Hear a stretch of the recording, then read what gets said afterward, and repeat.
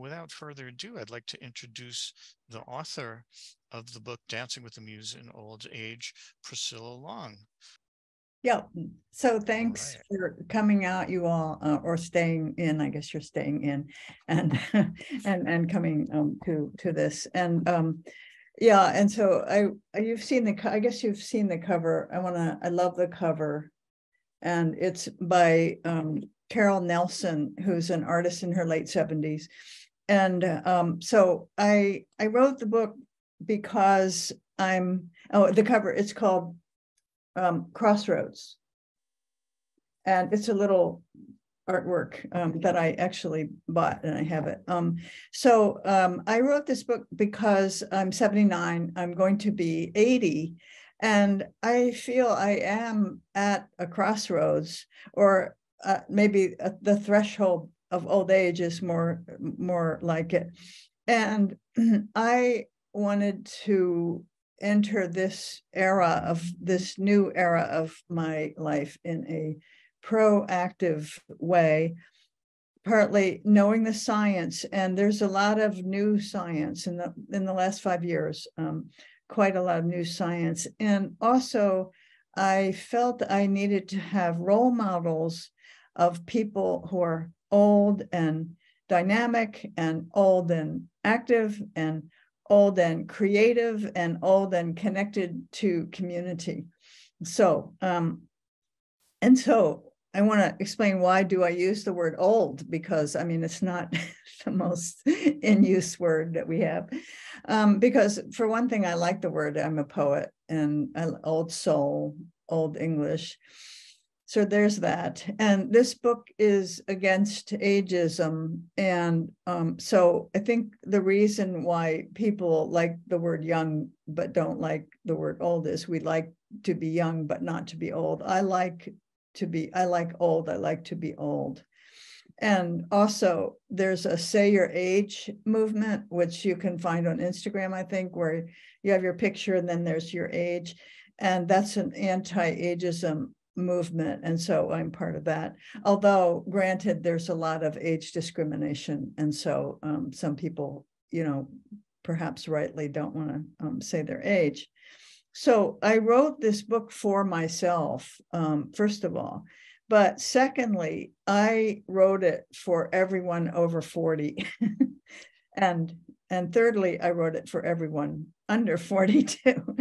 um, because, but why? Because um, part of the new science is um, Becca Levy at the Yale School of Public Health has done all of these longitudinal studies about um, uh, uh, about attitudes toward aging, and people who have negative attitudes toward aging and toward old people and toward their own aging. Um, I mean, 20 year olds who have negative attitudes have a much, have seven years shorter to live. They have a much greater, um, you know, um, um, possibility of cardiac um, stroke and dementia. And so I feel that this this book is really um, you know, important for for for us all. And so now I want to I want to put the slideshow up. Um, yeah, and feel so, free to uh, ask questions as uh, Priscilla is speaking, and I will yeah, uh, direct uh, the questions to her. Okay, here we go with the slideshow. Um, and okay. Let me see if this is working. Yeah, it's working. We see it. That's working. Okay. So um, there's the cover. Um, so uh, and and so I so I want to talk about some key points about science, and I want to show you some of the the um, role models that I found but I mean, there's so many more. I mean, there are many in the book. There's probably a hundred different people in the book, um, and there's of course many more outside the book. Um, and ever since, actually, since the book was published two weeks ago, all kinds of people have been sending me more examples of these uh, these really uh, people you would envy um, and and admire and wish you could be like that too. So um, so the point is um, that um, we can't we know we can't control our fates. We know that. I mean, for one thing, we don't know how long we have. Um, but we can have a huge influence on our lives toward flourishing well-being. So, okay. I, I want to move my picture away from the caption.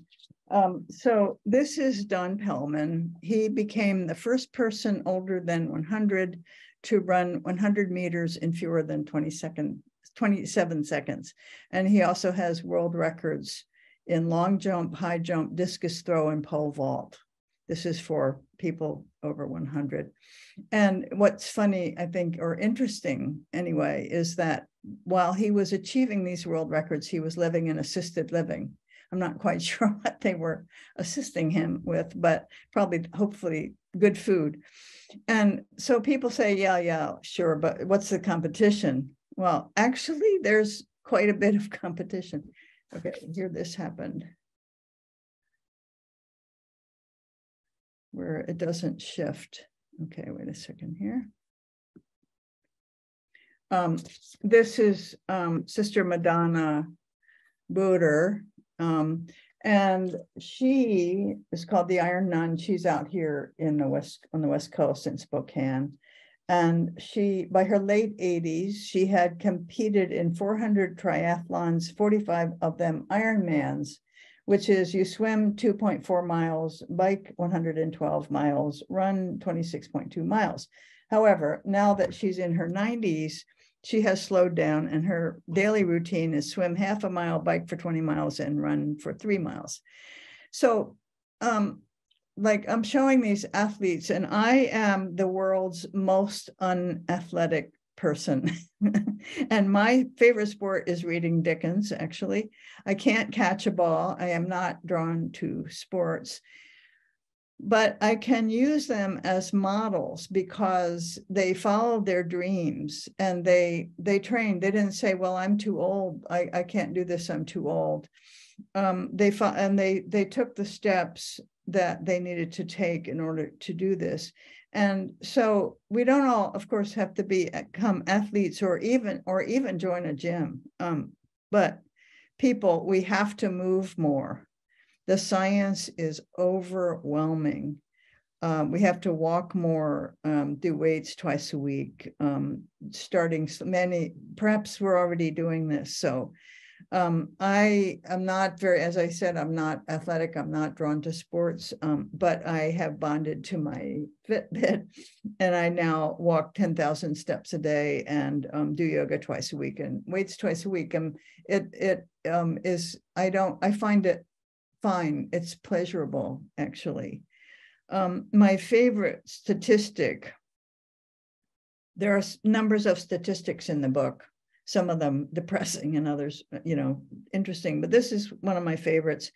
A quarter of marathon runners in their 60s can be expected to outperform more than half of their competitors between 20 and 54. So that's interesting. In other words, things are really changing. In other words, um, people aren't saying, well, now I have to stop running. Um, or because I'm too old, or I have to stop dancing because, you know, when you're 40 year old as a dancer, um, things are changing. So that's that's really good. Let me see if this now. Um, yeah. Um, this is Wayne Thiebaud. He was a California painter who just died last year. Um, this is him at 100 years old. And he started a new body of work um, at age 98. And so, uh, and so another piece of the science is that um, another way to achieve flourishing well-being in old age is to have something you're passionate about to the point that it takes you about three hours a day to carry it out. Um, so what I have to say about this is it's not necessary to feel passionate all every minute. That isn't what it's about. It's that you you know, persistently you open this area of work, whatever it is. It's writing poetry, it's painting, it's um, designing your garden or whatever it is. And it's the work that gives you back. It gives back um, for those who are persistent and keep at it. And also, any endeavor that we undertake has a community that goes with it.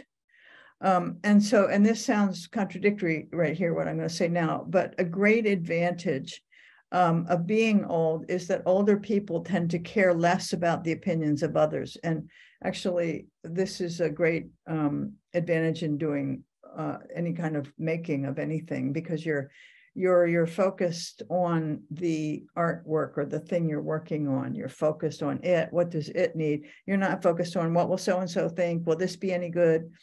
So um and here are his this is a wayne thiebaud clown.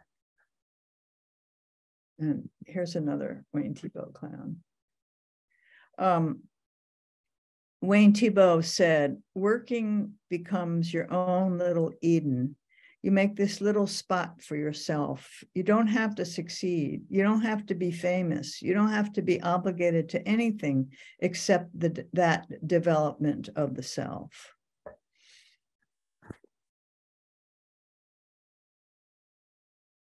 So this is Alma Thomas. I don't know if you you know her work or not.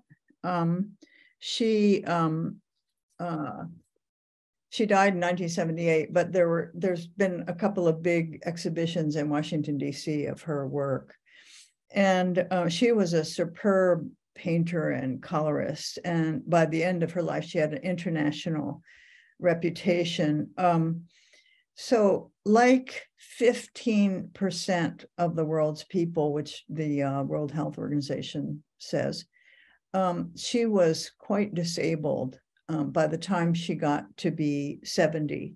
She was very disabled with arthritis. And um, she was not exactly a late starter um, because she was trained in art, but then, like some others, um, she then spent several decades um, teaching art to children. And she said about that, I enjoyed those 35 years. I devoted my life to the children, and I think they loved me. Um, at 72, she was offered a retrospective. And so she got very busy. And um, even though at that time she was recovering from a severe bout with um, arthritis, she began madly painting. And that's that's one of her paintings. Um, and um, in her early 80s, she broke a hip and she would paint with a painting on her lap. And then toward the end, she would have she had this system of of uh, wedging herself so she could stand, so she could paint um, bigger. And she said, Do you see this painting? Look at it move. That's energy. And I'm the one who put it there. I transform energy with these old limbs of mine. And I mentioned that she was disabled, and there's course, Matisse in his wheelchair. I mention this because um, there might be an idea that if you're disabled, you can't be a world class artist. And so, um, no, um, Matisse, who began his famous cutout series and his jazz um, after he was, uh, he had um, this operation and he couldn't, he had to be in his wheelchair. So um, and then this is um, Eve, Eva Zeisel, I think you pronounce her name. And she was a um, industrial designer, and she um, was uh, she so she was Hungarian born. Um, she spent she had spent time in the Soviet Union. Actually, she spent time in a Soviet in a Stalinist um, prison for a while and she eventually got out. She eventually got to the United States, and she had the first all-woman um, show uh, at MoMA. Um, so, and and and she uh, she she makes oops she makes these um, she made these like vases, uh, domestic, you know, objects, bowls, plates, um, vases, and things like that. And they were then they were mass produced.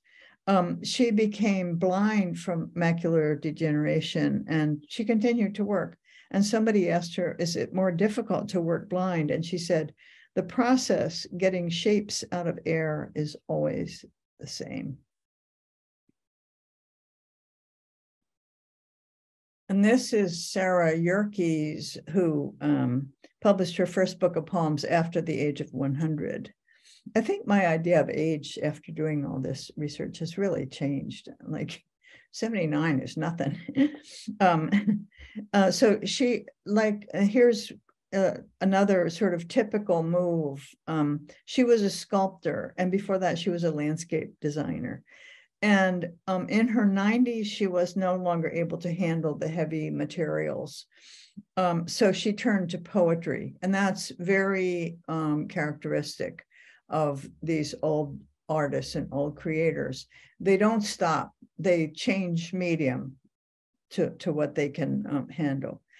And she also found um, uh, a community with other poets in her she lives in a senior living place so um, she said in this poetry workshop i started going to it was because i liked the people who were in the group. A lot of people in life as well as at the ingleside which is her place have done so many other different kinds of things but they haven't been wildly creative. So when a group of potential soulmates turns up i join them. And so I think this brings us to the issue of connection with others and how essential this is for our well being and thriving all through life, but in particular in old age. And so I want to bring up the topic of loneliness um, because it's often brought up. Um, and so, and we know that um, uh, chronic loneliness is very, very dangerous. It's supposed to be as bad as drunk driving. Um, and we do not want our teenager to be lonely. We do not want our college student to be lonely. We do not want our divorce, and I'm talking about chronic loneliness. I mean, if your best friend dies, of course you're going to be lonely. That's that's natural but chronic loneliness. Um, we don't want our divorced brother or sister in their 40s or ourselves to be chronically lonely.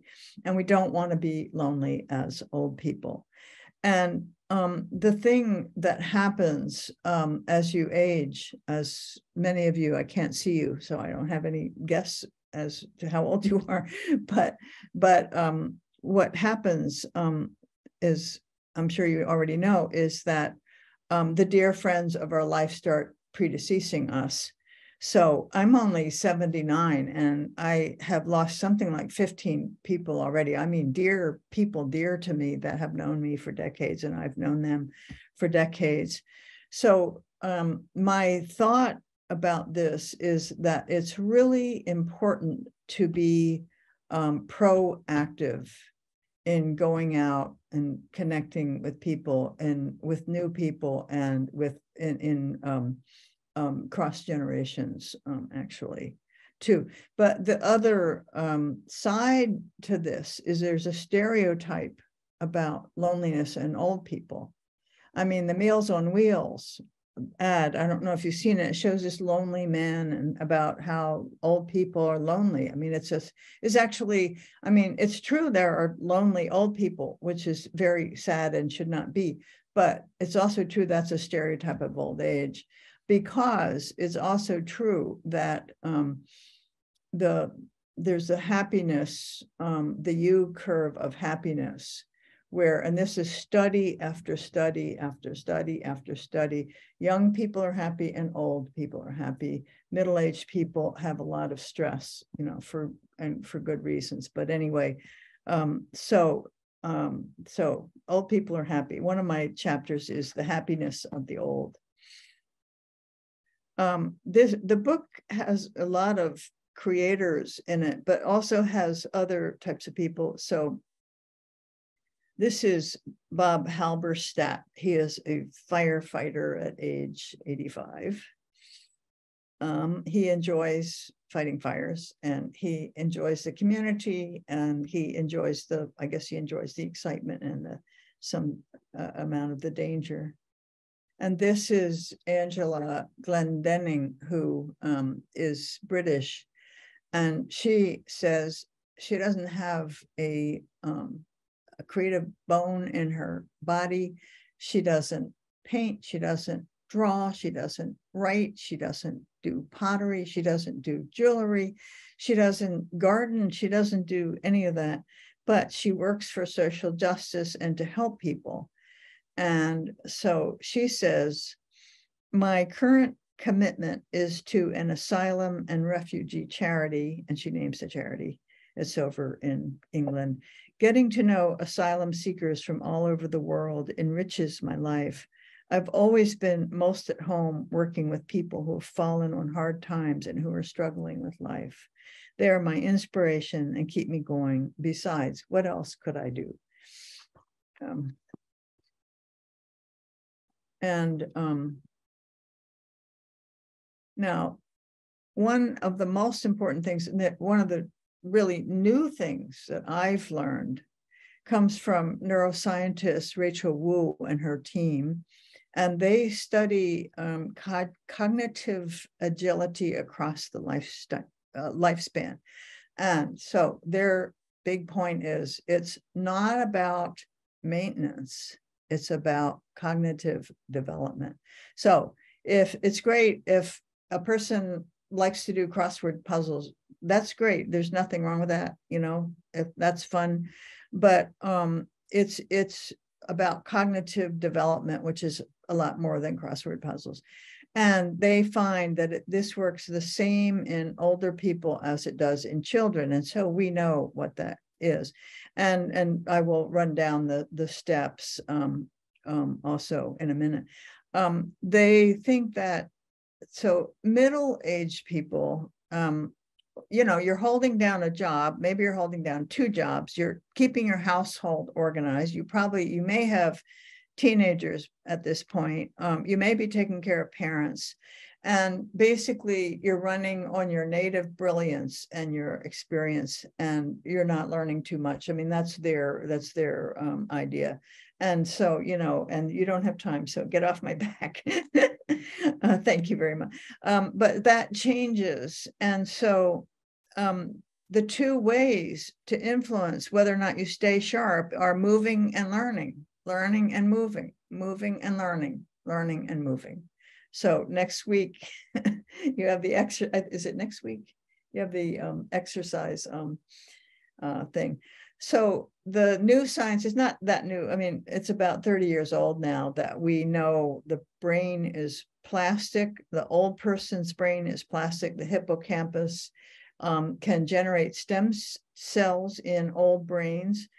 And every time you learn something, new connections are made and your brain thickens and your hippocampus thickens. And so that's new information, I mean, in the in the past 30 years.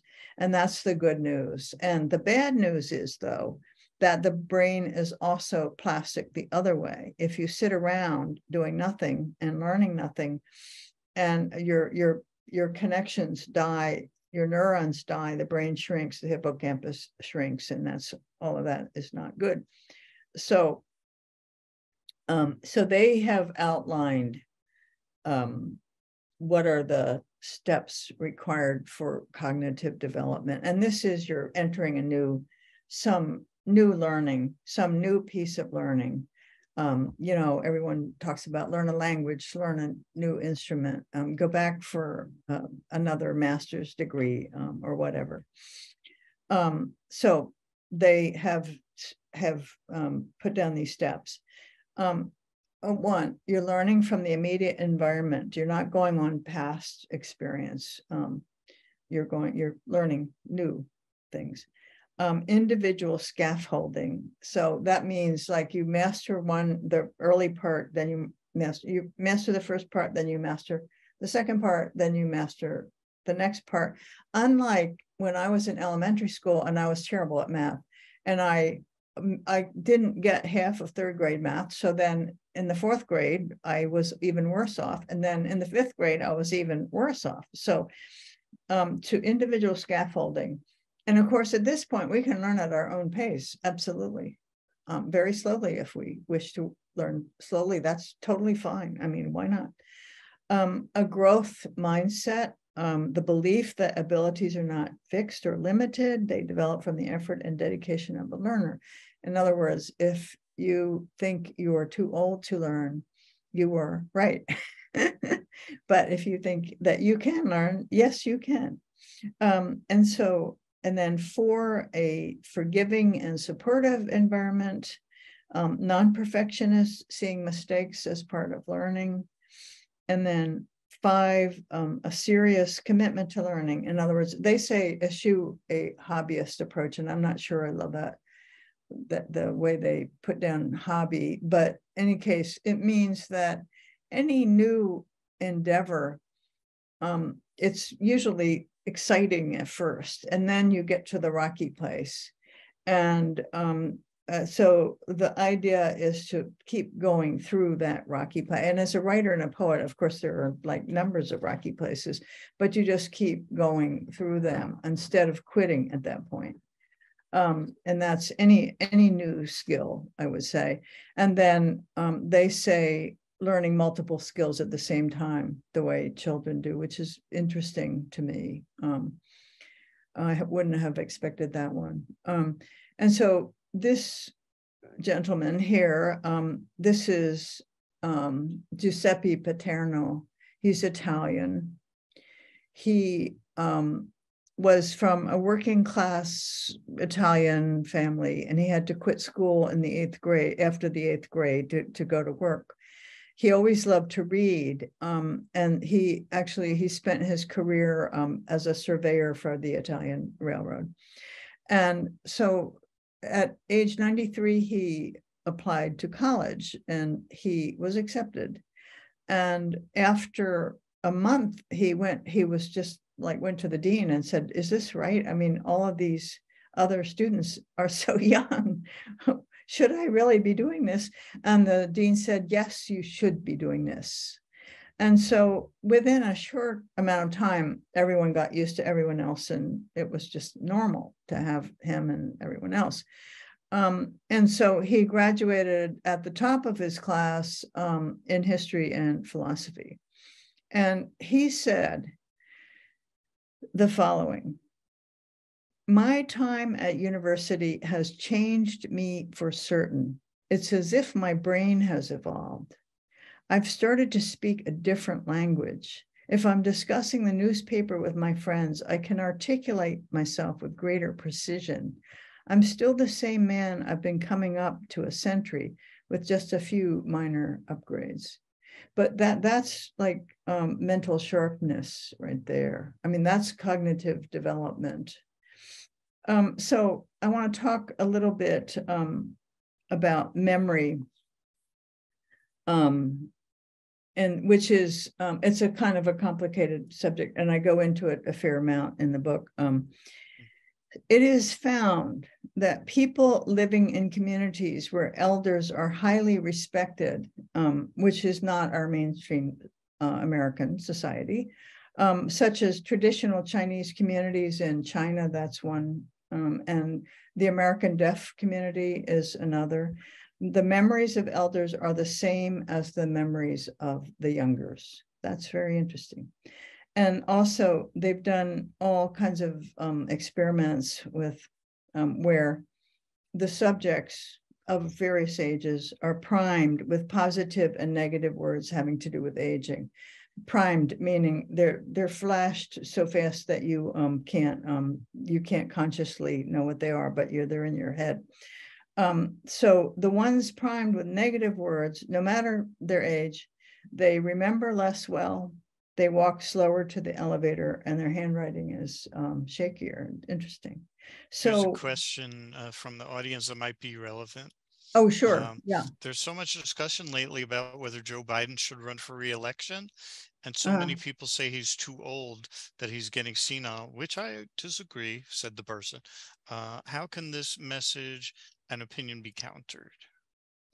Well, I think it's ageism unless he is getting Alzheimer's, um, which of course Ronald Reagan was did um, and in office. But but how can it be countered? Um, you know, I think there's just a lot of work to be done in countering age. That's just plain old ageism. Um, uh, uh you know, I he's too old to be president. You know, I'm too old to write a novel. I mean, it's the same exact thing. Um, and so, how to counter it? I think the work is in countering um, ageism. Um, is he competent? You know, um, that's the question. That is, is he competent? Is he carrying out policies that we think are good? Those are the questions. The question isn't how old is he? So I don't know the answer. What's could you? What is your answer?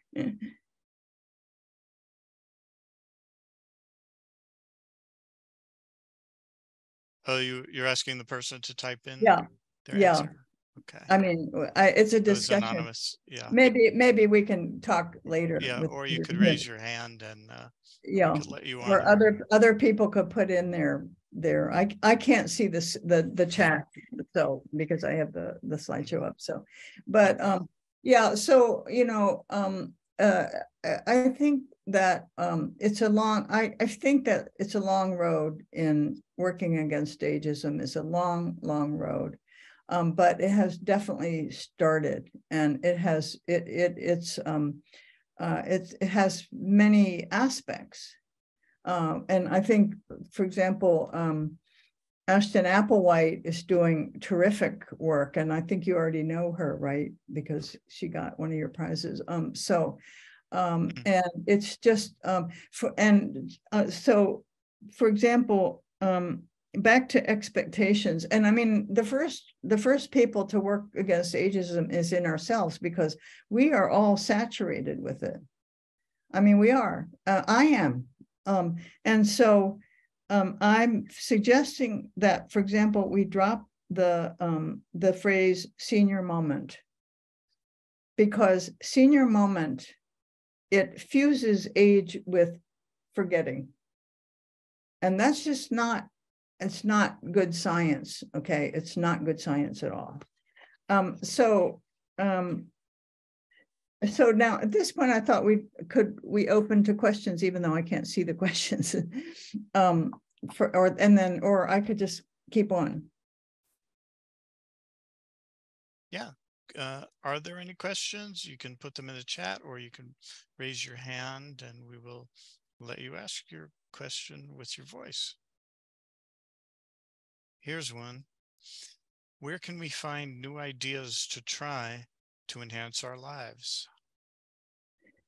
Um, I think it like you cast around for what what are your interests? What are your old interests that you never um followed through or you sort of lost as life took over at one point or or another? Or what are your um you know, what could you go into now? I mean, it's about opening doors to new um friendships and new uh endeavors um, that aren't just the same as before. So, um, for example, um, uh, what's her name? I'm going to forget her name.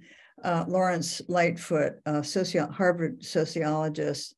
Um, she did a study where she didn't name the people, but she did a study of people who um, cha- they changed careers, I guess you would say. Um, from what they were good at and they had done for decades in order to follow their old dreams. And so, uh, for example, um, one of her people had was had a career in public health, and, and he was like very you know high status person, and but he'd always dreamed of being an opera singer, and his mother had always taught him that opera singing is for sissies.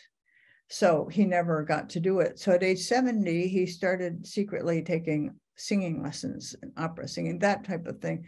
Um, I think it's just, uh, it's not, um, it's to get past business as usual, especially if you have some time now.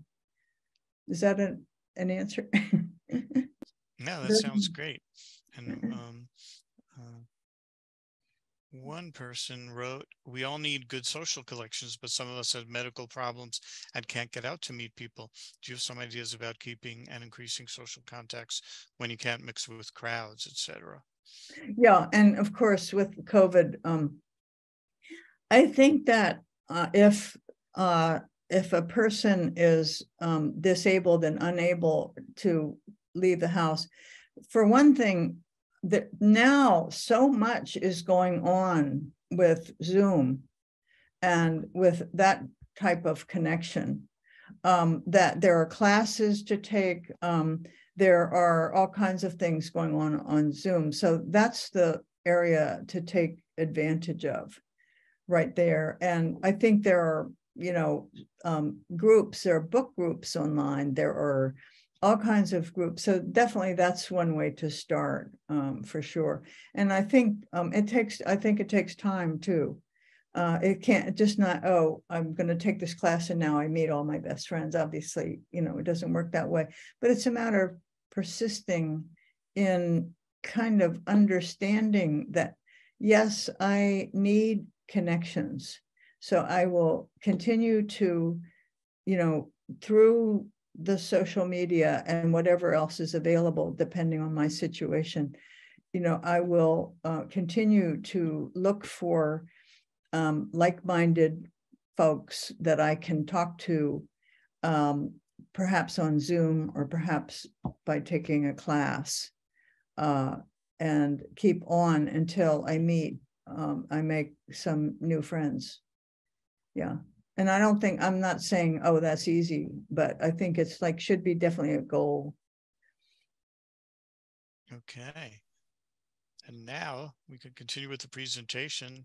One of our uh, audience members said, uh, you know, it's a great flow of information. So, okay, continuing. Um, okay, so um, so now I'm gonna run, I might have to speed to the end or hopefully not, um, but we'll see. Um, so um, this, these two women are Bessie and Sadie Delaney, and they, after the age of 100, um, also I, I would have to say there are lots of memoir groups and people working on memoirs and writing together, and it go, a lot of it goes on along goes on on Zoom at this point. So um, they um, wrote this wonderful book. I don't know if you've read it. Um, it was on the New York Times bestseller list, and with Amy Hill Hearth. And so um, Sadie is the one on the right as you're facing her, and she was the survivor. Um, and she was 106 when she lost Bessie, who was 104 when she died. And so then she wrote a book called On My Own, also with her collaborator, Amy Hill Hearth. Um, and they, the, these are wonderful books, and they talk about, um, um, well, uh, Sadie talks about grief and how you deal with grief, which is, you know, part of the, uh, part of dancing with the muse in old age is dealing with um, grief. Um, but, and they come up in several ways in the book, but um, they did exercises every morning. And at age 106, Sadie had this to say about some of her sedentary friends. Um, she said, Some of our friends that are 20, 30 years younger come in here and tell me they're worried about me. But to tell you the truth, I think I look better than they do.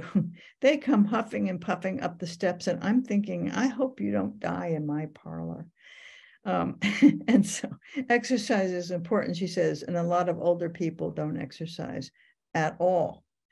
And the guideline is, I mean, there are federal guidelines, but the guideline, um, if you're disabled, um, is to move as much as you can. That's the guideline. So if you're in a wheelchair, like move your arms and like that. Um, okay. Um, so this is, um, of course, Anna Mary Robertson Moses. Um, and formerly grandma. And so um, Peter Schjeldahl, the New Yorker critic who uh, recently died, um, he did a great review of her, of an exhibition of hers, and suggested we stop calling her grandma, even though Grandma Moses, you know, even though she, of course, called herself Grandma Moses, but that was in a different era. So anyhow, she's an example of someone who started painting in her 70s, as we know, um, but she's also an example of someone which I is actually not in the book because I learned it. I mean, I knew it, but I kind of thought it through after the book was done. Um, who, due to disability, changed their medium. So she used to do these um, intricate embroideries where, I mean, they would be this. They would they were big, and they had um, roads and houses and little people and animals and fences and kind of like her paintings, but it was all embroidery and different colors, and she would design them. And she got arthritis in her hands and couldn't um, she couldn't manipulate the needle. So she took up painting and the rest is history. Um, and so I think that one thing that just so inspired me in writing this book is is so many of these people, and I'm showing you just a very few of them. Um, this is Kay Walking Stick, and um, she had this to say. And I'll here's here's one of her. She does a lot of triptychs. I mean diptychs, diptychs too, diptychs. Um, she says, I think art making is the visual history of our experience on earth. And this is a fuller way to talk about our lives here, our humanity, our existence, our planet. So um, that's Kay. And so her her her story, let me see if I can turn it back. Her story has a lot to do with um, losing her, suddenly losing her not very old husband. Um, and uh, about dealing with grief and elegy and and how art is partly about elegy so um and so as to not um give the impression of all, all these elite artists although some of them aren't elite at all actually um the G, perhaps you probably know about the Gee's Bend quilters um i love this quilt I just think it's so gorgeous. Um, um, this um, is a small African American community, and it's in Alabama, isolated on three sides by the Alabama River. And the women in this community have been making quilts for generations, and they have, you know, produced countless patchwork masterpieces, according to the New York Times. So that's an example of a community of a, a, creative community. And I don't think they thought of themselves as creative. I doubt they used that word, but they were making, um, uh, you know, uh, bedspreads for their beds.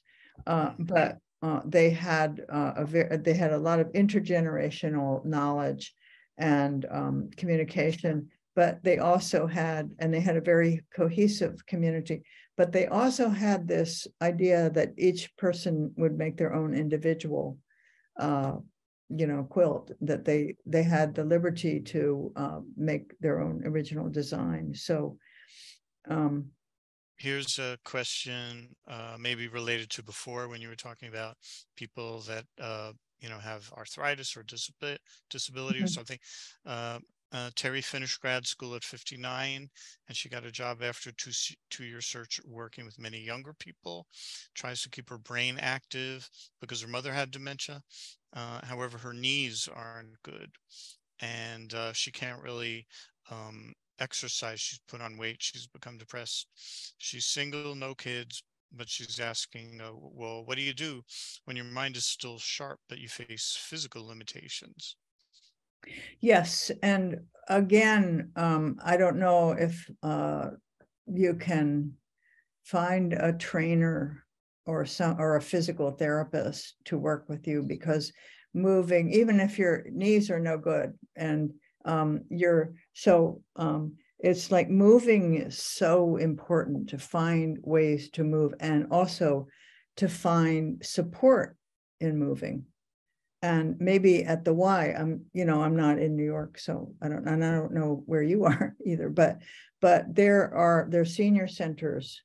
There are ymcas and ywcas and there are people who can help you to learn how to move.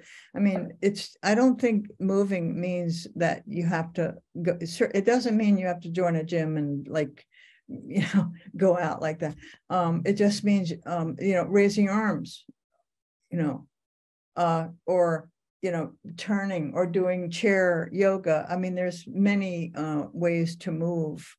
And so and that also um uh, it it it brings company. If you get a um, a trainer or a uh, physical therapist or uh, at the senior center there are free free things at the senior centers. So that's what i would um, suggest that i think moving is really important. And it's good that your brain is sharp. Thank you um, so let me see, where am I? Um, um,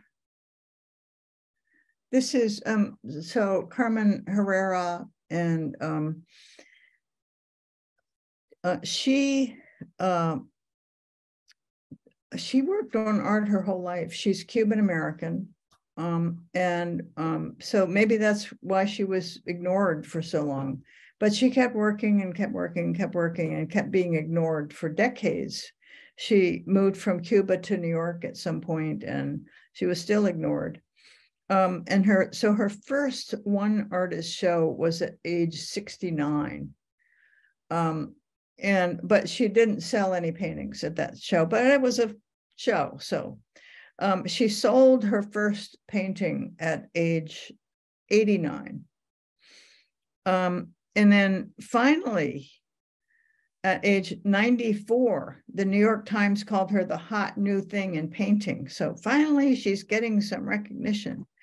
And then at age 101, and she just died, um, she was, well, you can tell how old she was. Uh, um, she So um, at age 101, she had a retrospective at the Whitney, and the director of the Whitney wrote that she had created a stunning body of work that places Herrera firmly in the pantheon of great post war abstract painters.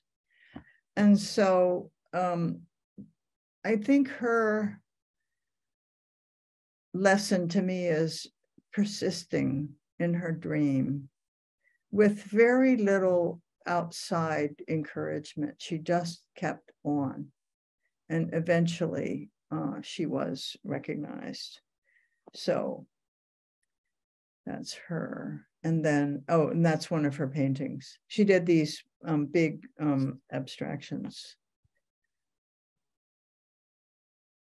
And this is this is Violet Hensley, and um, her story is um, she was an Arkansas fiddler wood carver. She grew up in a poor family. Um, her father taught her wood carving, and her father made fiddles.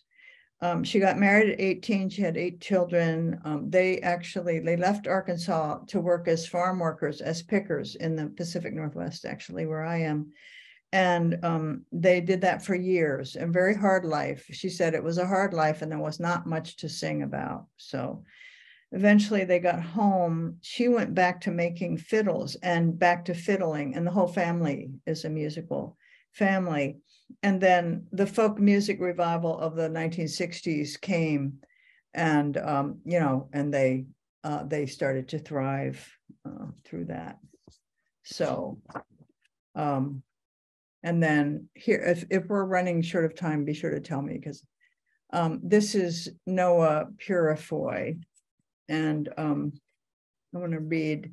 So he is from Los Angeles, um, assemblage artist, and he this is a kind of typical pattern in some way i mean he's he was trained as an artist but he's and i shouldn't say but he was trained as an artist and he spent his decades of his career um, in art education teaching and um, let's see page 102 and he, governor um, jerry brown appointed him to um, to what was it it was the uh, California Arts, Arts Council, which meant also he spent the decade, um, you know, designing curriculum for schools and for prisons and places like that. And then he retired and to in order to go back to his own work at age 70. And but at that point he could not um, afford to live in in in LA. So um, a friend offered him 10 acres in the Joshua Tree High Desert, and he set up a trailer there and got to work. And this is, I want to read this um, passage about him. Um, surrounded by trailers, busted out homesteading shacks, and small modern abodes. Over the next 15 years, Purifoy transformed the barren parcel of desert on Blair Lane into one of art history's wonders punctuating the 10 acre site with more than 120 large scale sculptures. Composed largely of junk, Purifoy's environmental installation in Joshua Tree is his most lasting legacy as an artist. So that's another person who took what he had and made something of it. Um, okay. and should he, give the five minute warning at this at this point. Oh, okay. And I'll just and flip. and I'll give you a two if you like. okay. So here are the dancers. I'm just going to flip through the dancers. this is Bill Traylor, um, which who is a you'll have to read the book. Bill Traylor was a, a very impoverished street artist in Alabama, and he was became known only after his um, long after his death. And so I want to end just now I can now go to Oliver Sacks, one of my favorite writers of all time. I adore Oliver Sacks. Um, and here's what he said about old age. First, he's talking about his father. Um, he said, My father, who lived to 94, often said that his 80s had been one of the most enjoyable decades of his life. He felt, as I begin to feel, not a shrinking, but an enlargement of mental life and perspective. One has a long experience of life, not only one's own life, but others too. One has seen triumphs and tragedies, booms and busts, revolutions and wars great achievements and deep ambiguities too. One has seen grand theories rise only to be toppled by stubborn facts. One is more conscious of transience and perhaps of beauty. And then he talks about his own old age. I do not think of old age as an ever grimmer time that one must somehow endure and make the best of, but as a time of leisure and freedom, freed from the factitious urgencies of earlier days free to explore whatever I wish and to bind the thoughts and feelings of a lifetime together. And then, um, do we, is there time for one more paragraph? Sure. I could end there, but I'll, I'll read, no. this is, these are my words. Hmm. These are my words now. Old age can be a freer time, a looser time, a more contented time. It can be a time of exploring, learning, reading, walking, thinking, conversing. It can be a time of creating, writing, painting, drawing, throwing pots, dancing, choreographing, sculpting, making collages, making video art, gardening, composing at one's own pace, as one is given to do, as one chooses to do. Old age can be and often is a time of freedom, productivity, creativity, and great happiness. Okay. And the name of the book is Dancing with the Muse. But it comes with more. There's more than that. Dancing with the Muse in old age. okay. I was going to say in old age, but I thought there was more. Thank you all for listening in. Thank you. Yeah, We have and uh, I think we 24. have we have uh, a few minutes uh, for some questions. But in the meantime, I'm putting her uh, website where you can find it, uh, and she'll have links out to places that you can purchase the book. www.priscillalong.com. But let me just put HTTPS in front of it because that sent to And you have to spell link. Priscilla correctly or else you'll get nowhere. I S C I L L A long, right? Right, right, right. Com. There you go. And uh, if you'd like to um, find out about more uh, events that Coming of Age holds, uh, visit uh. Let's start again. Visit pssusa.org slash newsletters, and you can find out uh, not only some interesting uh, news articles that are of interest to people 50 plus, but also um, about our events that are uh, coming up. And it only comes out monthly. So, uh, yeah, and uh, I do have one more question in the chat before we go. Oh, it's not a question, it's a statement. oh, Priscilla's got it. Okay. Uh, Priscilla's answering it. He says, you know, thank Yeah. you. Thank- you for coming. And, uh, Very much for yeah, coming. thank you so much. Thank you all for coming.